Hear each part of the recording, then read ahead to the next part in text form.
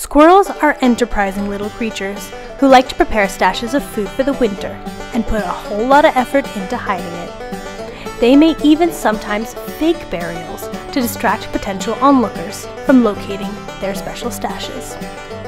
Much to their dismay, though, their stash is still sometimes found by others, often completely by accident. While looking for a good hiding place for his stash, a clever squirrel found a lair of nuts. It decided to make the most of the situation by doubling the number of nuts during the day and eating two nuts in the evening.